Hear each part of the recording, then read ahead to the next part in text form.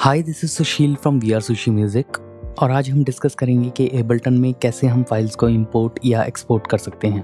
तो यहाँ पर मेरे पास एक न्यू लाइव सेट ओपन है। तो इसमें जितने भी मिडी ट्रैक्स हैं, मैं उनको डिलीट कर दूँगा। अभी के लिए हम ये मानकर चल रहे हैं कि हमारे पास एक मिक्सिंग का प्रोजेक्ट आया और हमें सभी ऑडियो फ़ाइल इम्पोर्ट करनी है। जब भी हमें मिक्सिंग के लिए अपना लाइव सेट ओपन करना है तो उसमें एक सेटिंग का आपको ध्यान रखना है। आप उसके लिए ऑप्शंस में जाएँगे और प्रेफरेंसेस में जाएँगे। जिसे आप कंट्रोल और कॉमा से भी ओपन कर सकते हो। इसमें रिकॉर्ड वॉप लॉन्च की टैब में एक सेटिंग होती है ऑटो वॉप लॉन्ग सैम्पल्स जो कि बाय डिफ़ॉल्ट ऑन होती है, लेकिन आपने इसको ऑफ़ रखना है। इसका मतलब ये है कि जब भी आप लॉन्ग सैम्पल्स इंपोर्ट करोगे एबल्टन में तो एबल्टन उसको टेंपो वाइज वॉप नहीं करेगा। अब हमारे पास जो प्रोजेक्ट आया, उसमें से हमें फाइल्स को इम्पोर्ट कर लेना है।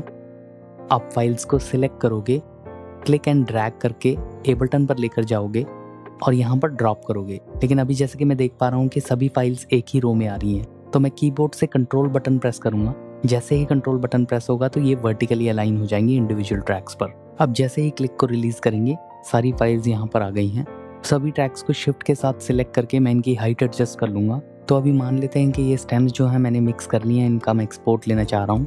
तो उसके लिए हम सबसे पहले लूप के लोकेटर्स को अपनी फाइल्स की लेंथ के बराबर सेट कर लेंगे।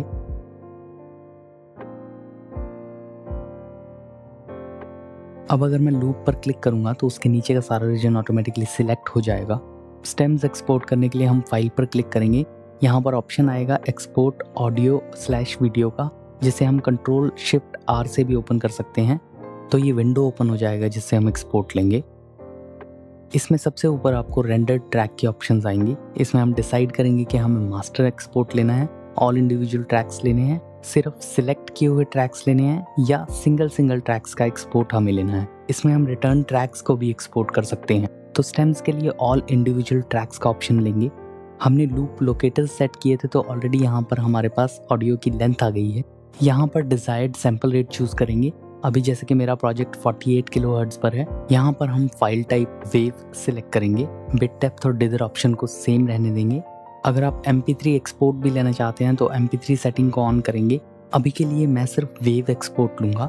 एक्सपोर्ट बटन पर क्लिक करेंगे तो हमारे सामने एक डायलॉग बॉक्स ओपन होगा, जहाँ पर मैंने ऑलरेडी एक प्लेस चूज़ कर रखा है स्टेम्स एक्सपोर्ट करने के लिए।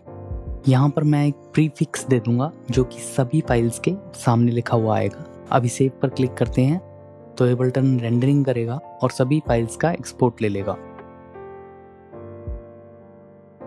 तो यहाँ पर रेंडर कंप्लीट हो गया है। अब मैं फोल्डर में जाऊँगा और स्टेम्स फोल्डर में एक्सपोर्ट्स को चेक करूँगा। तो यहाँ पर मेरे पास स्टेम्स आ चुकी हैं।